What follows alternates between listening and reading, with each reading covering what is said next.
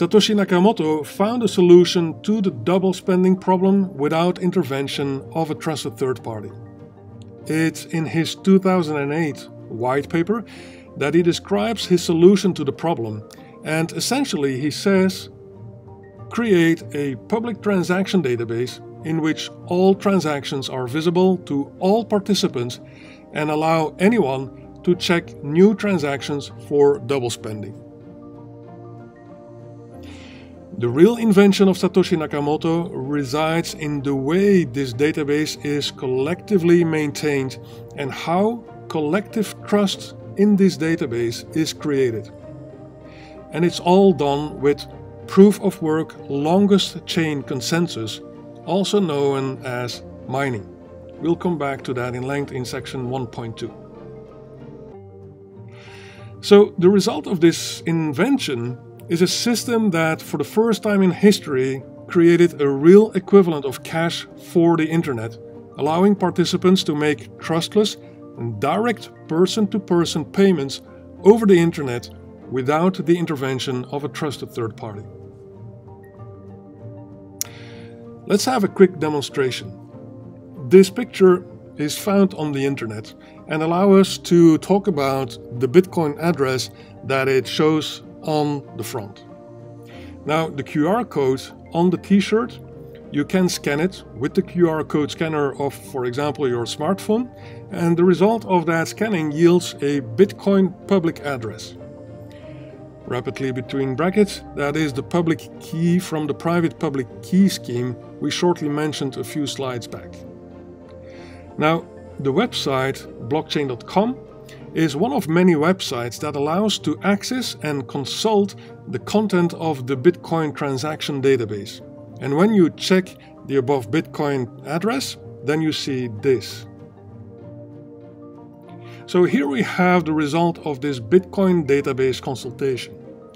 We can see that on that public address there have been a total of 16 transactions with a final balance of 0.021 Bitcoin. On the bottom of the screen, by scrolling down, you have a list of all the transactions that have ever been executed on this public address. As each Bitcoin in the system has a unique number, when you receive a certain Bitcoin from this person, then you can check that this person didn't already spend that Bitcoin in another transaction. Now, in reality, that check is done automatically by the software that you run on your computer.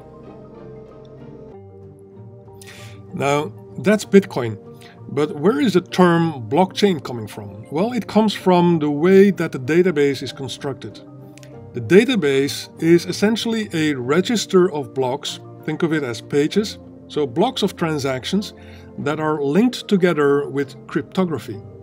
Each block holds, beside the transactions, also the cryptographic digital fingerprint of the previous block and in that way, a chain of blocks is created, also known as a blockchain. Then, blockchain is also used to indicate the computer program, the protocol, that allows for the participating computers to function correctly. Each computer in the peer to peer network runs this protocol that determines how computers communicate with each other, how transactions are created, shared, and verified, and how the database consensus and trust is created between participants.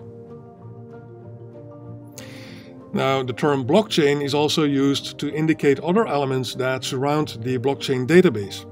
So, blockchain is also used to indicate the peer to peer or person to person network of participants that maintain the blockchain database and transact in the blockchain database.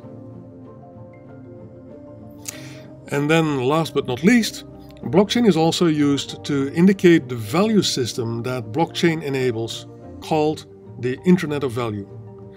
Till Bitcoin, we only had the Internet of Information.